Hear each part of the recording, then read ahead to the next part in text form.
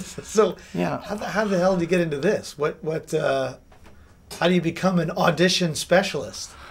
And how long have you been doing that? Well, I guess the answer to the question is I have to start at the beginning, watching actors that I admired not be able to audition very well. So they asked me to help them with their auditions, and it grew from there. And I've been struggling ever since to find the keys to auditioning, especially for camera. And uh, I think I've found it. So uh, how does Sherlock Holmesing? That's kind of part of your foundation. Mm-hmm. So how does that how does that come into play of of, of creating? Uh, your formula or technique or uh, how you teach. Talk Well, a little the, bit about uh, that. what I discovered is that the camera sees knowledge; it doesn't see acting. Uh, actions are for the stage. We are all, most of us were trained for the stage, so that's actions for the stage, not for the camera and close-up, especially. And what that's what an audition is. An audition camera is a close-up, and what the close-up sees is the actor's eyes. So on the stage, you don't see the actor's eyes; you see their actions. On the camera, you see not the actions, but the but the actor's eyes. And in the in the eyes is knowledge. right. Well, how do you gain knowledge in a very quick time when you don't have much time to? Uh, there's no rehearsal, as for the stage, there is rehearsal. So, uh, uh, to be a good actor, you have to be a damn good detective, and you've got to do it very, very quickly. So, I invented this process just through the process of elimination over the past, you know, decade or so of how do I read a script and suck up all the knowledge that I need to have so the camera can see it in my close up. And the only person I really have to justify my work to, which is what I stress for all actors, is uh, justified to the character. The reason through through me the character grows. So it's me, as Bob Duvall says, bent just a little bit. But I have to be it. And the only way to do that is to suck up all the knowledge very quickly for camera. In the theater, you have a rehearsal time, which is lovely. Film and television, almost never. So that's the Sherlock Holmes thing.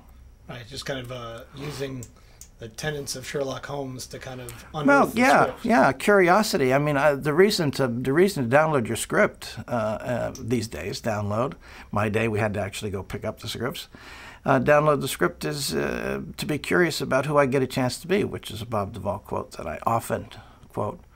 Uh, and curiosity, intuition carries you through the reading of the script, and then deductive reasoning, you put it all together to solve the crime, in a sense, and then you have the knowledge, and that's what the camera sees. Right. And then you, the actor's job is to create the reality of everything we, meaning the audience, don't see. And emotion creates reality, so you have to know how you feel about every object that's dealt with in the scene, in the audition scene. Then we believe you. Right. Yeah. Well, in your book, you know, you talk about uh, the the value and the importance of that first moment. Oh boy. Um, casting directors told me over the years that actors lose the audition in the first 10 or 12 seconds, and I think that's a crime, frankly.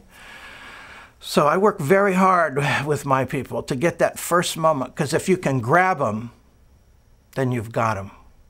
And through working the scene, then we see what things mean to you. And what you're hearing, you have to know what it is that you're hearing, what you're saying, and what that means to you. So you have to have an emotion associated with all persons, places, things, and events. That's in the ske- in this text, yeah. Kind of stacking the, the, the deck in terms of you're using the Sherlock Holmes as to unearth all the material. Well, you- then you're kind of using your emotion. Yeah. You said emotion Yeah. creates reality. Yeah. Mm-hmm. So you're having emotions that are creating the reality of who you are, where you are, who this person is. all that. But the the writer is the guide. You only, the only person that you have to help you for an audition, unless you come to an audition coach like myself, is the writer. You don't have a director, you don't have fellow actors, you have a reader that's not supposed to give you very much. So, but you have to endow the reader, you have to endow all the persons, places, things, and events in the text with a reality so you appear to know what you're talking about. And emotion does create reality. The, the writer is suggesting an emotion about a person, place, thing, or event, and your job is to make that real. We human beings remember our history, if you will, in pictures. We also have a future that we imagine in pictures. When we become actors, suddenly we're not supposed to do that. We're supposed to remember words. Do you follow? We're supposed to remember words. Let's do the pictures first, then the words become easy. So you talk, you talk about a lot about object of your behavior. What, what is that? Mm-hmm. All acting is too foreign off of an object of your behavior, and that object has to be endowed with a reality that contains the emotion, or it's not real. And that, just that that's simple. encapsulated right out of the gate. Absolutely. If I don't know who I'm talking to, uh, one of the one of the lines in my in my book, it was going to be a chapter title, and uh, we decided against it. But one of the one of the things that I say in my book is, you don't have to act if you know who the bitch is. and, and that's literally true. If I know who I'm talking to, then a reality is formed. But if it's a reader, I have to cre- I have to endow it with a reality. I don't have the luxury of uh, of a fellow actor, if you will. Well, switch, switching over to your classes, uh, Mm-hmm. you know what what's different about your class as per se uh, a traditional scene study or an acting class? I I think scene study is very valuable, but scene study doesn't necessarily get you work. This is the practical side. It's after scene study, after all those wonderful technique teachers and all of that lovely stuff that we've all had. Now we have to get a job. It's a whole different world, the audition world from the scene study world. And if you don't know how to do live in the audition world, where's that scene study stuff going to go? Uh, so. And on camera is a component of that. Is that correct? On camera, and how that's that- how you, that's how we get work for film and television. I mean, it's literally seen on camera. So I have to know how to do that in terms of the audition process. Awesome. And uh, what's the basic structure of the class? How does it work? Does when people come to class? Well, people have asked me why am I different from other teachers, and I don't like to talk about other teachers. I think that all teachers have their value. But uh, I, what I struggle with and what I concentrate on is I teach the actor. I don't teach my method to everybody the same way. I have to sculpt you in a sense, and I have to work with you to discover what works for you uh, throughout the process of the class. So I teach basically individuals in a classroom setting.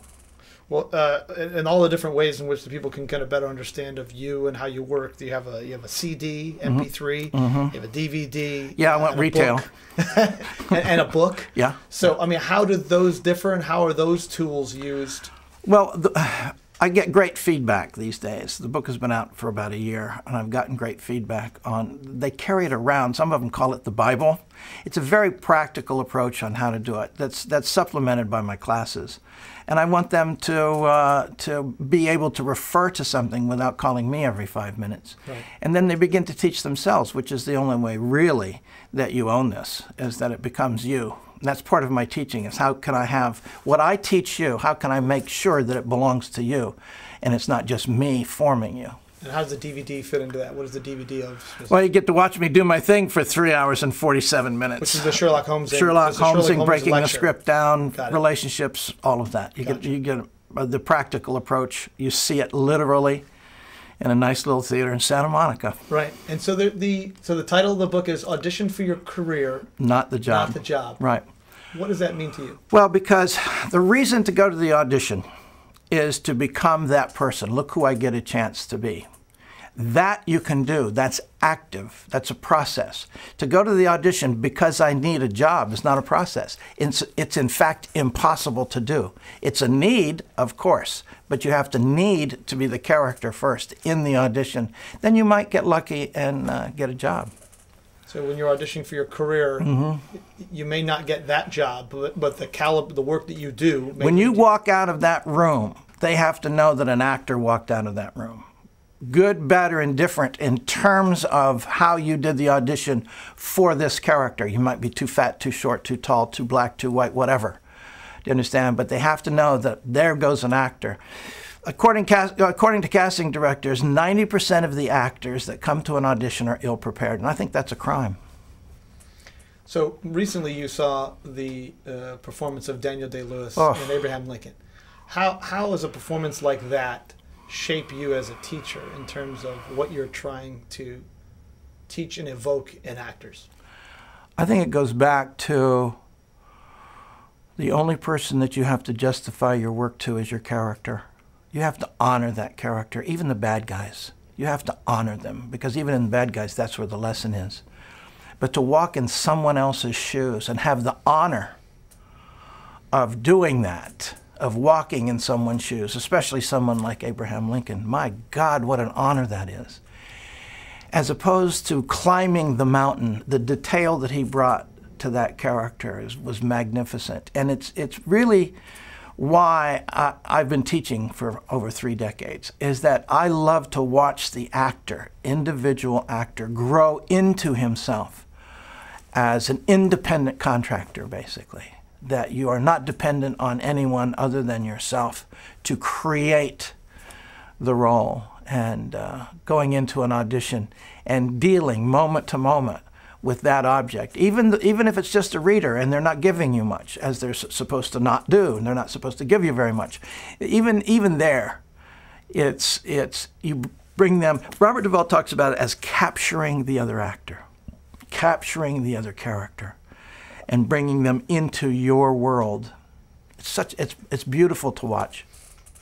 Anything else you want to say? Oh man, there's so much more. I know. There's only so much to say, so little time. exactly, But exactly. it's clear that you have passion and, and love what you do. And Well, I better. I've been doing it for a long time, and uh, it just keeps getting better. Uh, it's like a it's like a good wine. Uh, over the years, I've just I've watched uh, uh, uh, actors grow based upon things that I, they were guinea pigs. Some of them. I thought maybe this will work. Maybe this will help them get the job.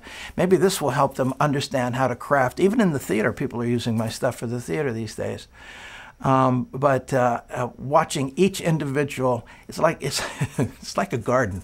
I don't want to be corny, Right. but it's like a garden. It's watching that individual Growth plant process. grow. Right. And it just, uh, uh, in a sense, it's giving birth. When I had my daughters, I cried, and I cry a lot uh, with the success of all of my actors. And that's just how I'm going to do it from now until it's over. Cool. So, nice to be with you. nice to be with you. Thank Yeah, you. You bet. Bye right. bye.